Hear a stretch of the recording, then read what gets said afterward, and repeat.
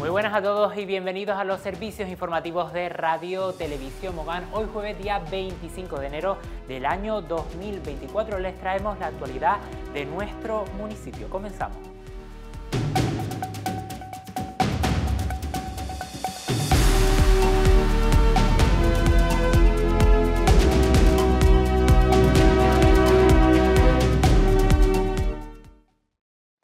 Ayer en nuestros servicios informativos les informábamos de que Mogán participa un año más en la Feria de Turismo Fitur. Precisamente esta mañana nuestro municipio recibía el distintivo como destino inteligente.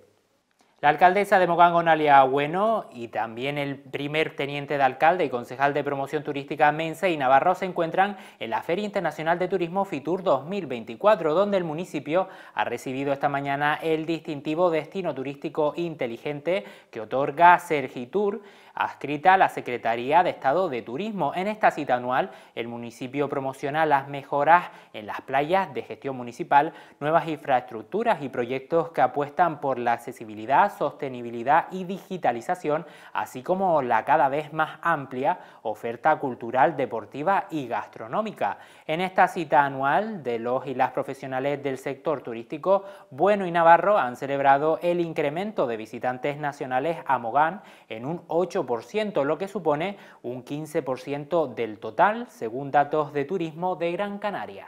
Hoy hemos recogido ese premio, nos lo ha entregado el presidente de Segitur y también nos lo ha entregado la secretaria de Estado de, Turismo. Hemos estado allí con ellos y otros compañeros de la asociación de los 13 municipios de Canarias. Lo hemos recibido ese distintivo, pues, pues seis. Así que entre uno de ellos, Mogán. ¿Por qué? Porque hacemos las cosas bien y a los parámetros que nos han marcado los hemos cumplido y bueno, y ahí hace continuar trabajando en esa senda que nos marca Segitur eh, para seguir colocándonos en, bueno, pues los primeros puestos del turismo en Canarias, que es de lo que se trata al final. Y precisamente el municipio de Mogana ha presentado este año en la Feria de Turismo de Fitur sus puntos fuertes, principalmente presumiendo de su oferta turística y también de las nuevas infraestructuras.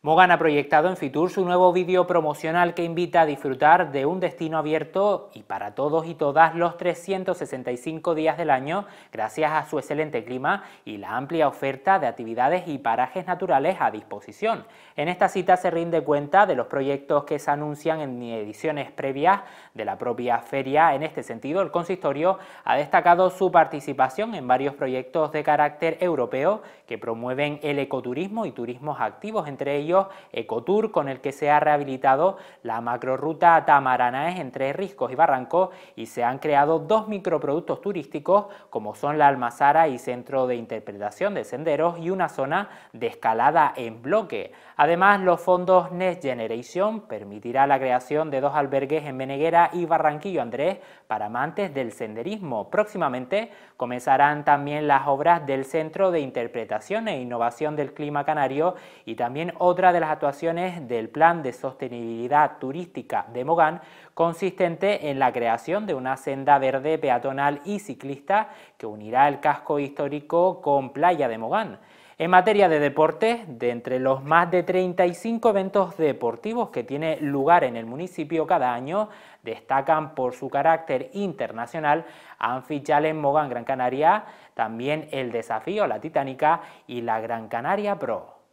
Hemos presentado eh, todas las toda la serie de obras que, hemos, que se está llevando a cabo a día de hoy, las nuevas que se van a llevar a cabo. También hemos presentado lo que es la parte de la gastronomía con la, con la, con la nueva revisión de, de, la, de las estrellas Michelin, los diferentes... Eh, los diferentes eventos deportivos que ya están más que consolidados. Hoy, por ejemplo, he presentado la Titánica con los, con los promotores del evento eh, la Challenge, eh, el Padel Sur, después también eh, bueno, las ferias gastronómicas que tenemos en el municipio de Mogán, de, de, agricultura, la de pesca, la del mango, aguacate y demás. Y sobre todo también que bueno que Mogán al final es un destino, al tener una estabilidad política, un, destino seguro para, para invertir y para seguir atrayendo inversiones en el municipio.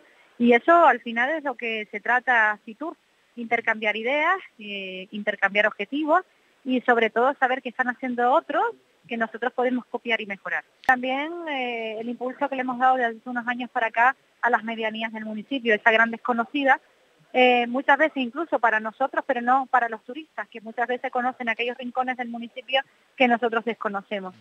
Y pasamos ahora a recordarles la agenda cultural de nuestro municipio porque Mogán termina esta semana con diferentes actividades y precisamente también con el comienzo del programa del Carnaval de Barrio. Esta tarde el Centro Polivalente de Arguineguín acoge a las 6 de la tarde la ponencia Vegetarianismo y Veganismo con el nutricionista Diego Jodar de Balcar Nutrición.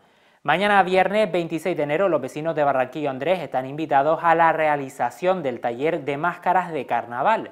Será entre las 5 y las 6 de la tarde en la Plaza de Álamo y Mejías y también en Barranquillo Andrés a las 6 de la tarde en la Asociación de Vecinos tendrá lugar la última charla sobre bienestar animal impartida por el concejal de Medio Ambiente Raico Guerra. El sábado 27 de enero, el ritmo y color llega a Mogán con la celebración del Carnaval de Barrios en Barranquillo Andrés y Beneguera con pasarela de disfraces, animación infantil, talleres de carnaval, concurso de disfraces en familia y baile de mascaritas. En Playa de Mogán, el mismo día tendrá lugar el pasacalles de carnaval con la batucada Caribe, comparsa Arahuime y mascaritas. Luego, el baile de mascaritas y concurso de disfraces grupal e individual. Por último, el domingo día 28 de enero, en Playa de Mogán también tendrá lugar la pasarela de disfraces con animación infantil y talleres de carnaval y la gala carnavalera con las escuelas artísticas de Mogán y la Academia West.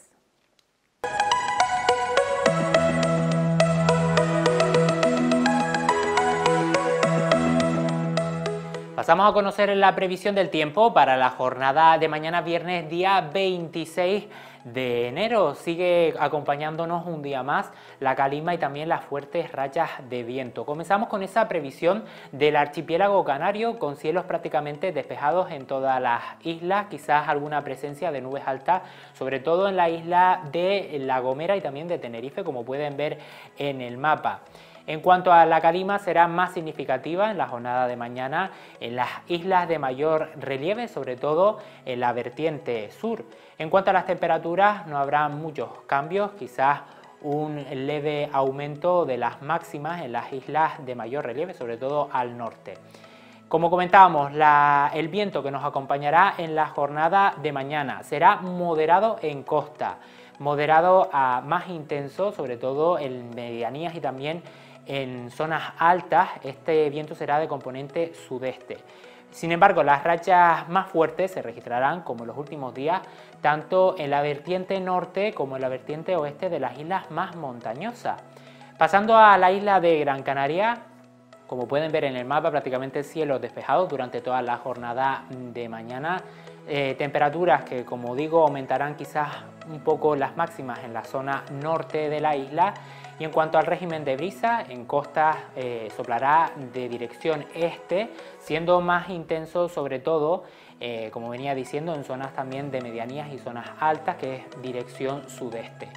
Eh, afectará sobre todo a la zona norte y oeste de la isla y también en la zona sur en la jornada de mañana. La calima, la calima también nos acompañará en la isla de Gran Canaria, sobre todo en la vertiente sur. Pasando ya al municipio de Mogán, tendremos cielos despejados durante todas las jornadas. Continuarán esas fuertes rachas de viento que hemos vivido en las últimas horas, sobre todo a primeras y últimas horas del día. La calima también nos acompañará en la jornada de mañana y en cuanto a las temperaturas prácticamente no varían con la jornada de hoy. Tendremos temperaturas que oscilarán entre los 26 grados de máxima y los 17 grados de mínima.